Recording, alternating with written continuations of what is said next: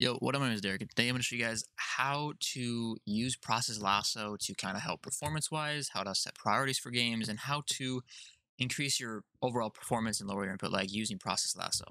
Um, what you want to do is just download it. I'll have it linked in the description. Um, make sure you set it as running in your computer when you start your Windows. And uh, once you have it open, this is what it's going to look like. It'll be in the bottom right, right here. And it'll open up and you'll look at it be like, this looks confusing. Really, it's just a more advanced task manager with a lot more options that are available for you to see right here. It's very helpful, very easy to use, and it's just it's it's, it's a really powerful tool. So right away, let's just I'm just gonna explain kind of what you're looking at and then how to set certain things and how to improve your your um, performance. Top left, you're gonna see processor use, uh, responsiveness, memory load, and then you'll also see if you're licensed or not. So I'm licensed, unlicensed. Honestly, licensing doesn't really do anything. The only thing it does is you don't get a uh, you don't get a notification every time you turn your computer on that you have to do license or what whatnot. So that's the only thing. It'll also show your power plan in the top right, um, and then it'll just show some graphs right here. And if you hover over this, you can even see how much it's using right here. And if you hover over it, you can see the numbers as well. A couple other things too is you can see the active processes that are kind of the important ones, and you can also see all the processes on your computer that are running. Also go to other things like making sure ProBalance is disabled. That's one thing that will enable right away. Just disable that. You can turn some of these things on. Recommended not to turn any of these on though, because um, not really sure what the performance is for with, when you increase these. Now, process lasso is pretty um, pretty well known in, in terms of like um, a uh, process kind of scheduler and type stuff like that. So it's it's really good. Um, so what we're gonna do is I'm gonna I'm just gonna explain some of the settings that you can change in here that will help um, get your performance to the maximum level that I can. So let's just talk about this. So right away, I want to talk about one thing that at least happens with me when I um, reinstall Windows or whatnot, and I don't have audio DG set as a priority or even an affinity what will happen is my microphone quality will be very, very staticky or very, very like crackly, so it'll be very bad.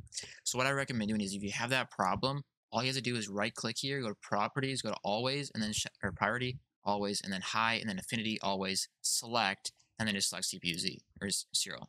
Okay, boom, right there, done. That.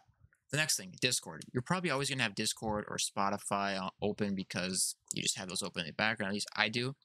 So what we're gonna do is we're going to go to Discord and we're going to hold Shift and click on the bottom one. You can see it selects all three, or all not three, all six of the .exes for Discord. And we're to do, we can do is right click them and actually go to priority class always, and then just set them to below normal. And you can see all of these go to below normal. So if I go into Discord, the performance might be worse.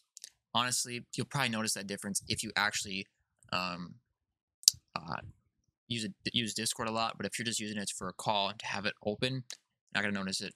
Now, one thing I'll say, there, there could be problems with like latent or not latency with like audio, right? You could have bad micro, microphone quality, or maybe it's delayed, or maybe your audio delayed from your people in the call or your Discord server, or whatever, could be delayed as well. So keep that in mind. If you have problems, just revert these back to normal. But you want to set these to below normal if you want to. You can also, if you want, set the affinity. Now, I don't really recommend I'd recommend just doing this to have them set at four right here. And like I said, you'll you'll notice when your you know Discord starts to be a little bit slower than what it used to be. Um, you don't have to set the affinities. I recommend not doing that. I'd recommend just keeping them the way they are um, at full. Okay. And you can also do this with Epic Games, or if you have any other program uh, in the background. So, like for me, I have Spotify, so I go to Spotify, go to priority class always, and then below normal. For Voicemeeter could work the same, set the priority to below normal, because I know voice Voicemeeter uses a lot of uh, CPU usage. Uh, but any program that you always run in the background, so like if you have Logitech soft, uh, G-Hub software now, one thing I'll say about Logitech G-Hub software, if you run it, I recommend downloading on your computer, making sure it downloads the drivers, make sure it sets the priorities up or, or uh, everything up, and then um, your profiles, I meant to say. Once you have all that stuff set up, just make sure it doesn't run with your, your, your Windows when it starts up and you'll be good to go. You don't need it running. You just need the updater running so that it updates your dri- or your drivers can um, get the profiles and stuff like that sometimes. Unless you have um, device or uh, unless you have like memory um, called? What's it called? It's like memory something, um, where it saves in the memory for your drive for your uh, mouse or your keyboard or your headset or whatever you use. It saves on the actual device onboard onboard memory. That's what it's called. Um, so you can just use that.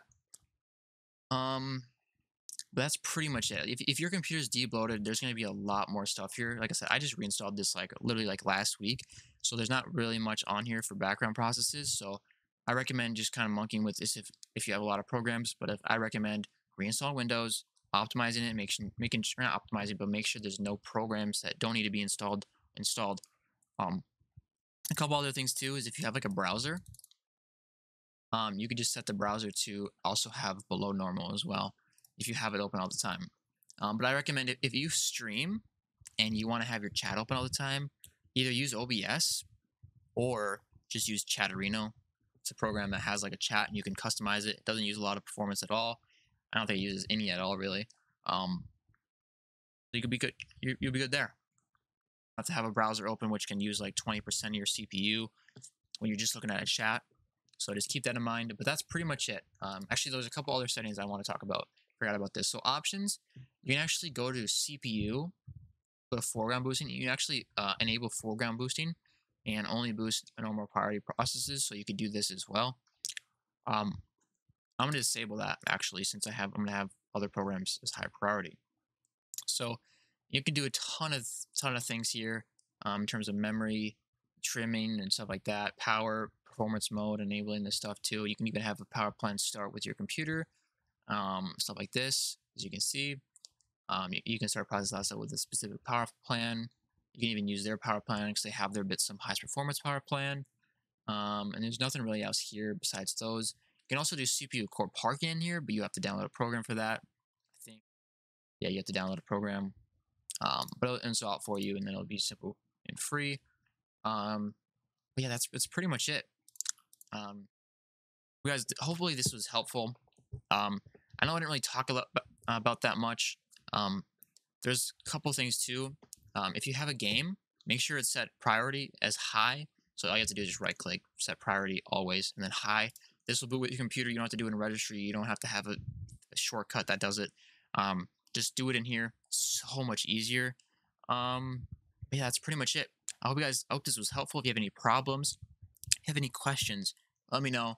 You guys know that I respond to pretty much everything in the comment section. Um, love the support in the last couple of videos. It's absolutely amazing. Um, but anyways, hope you guys like the video, like and subscribe, and uh, peace out.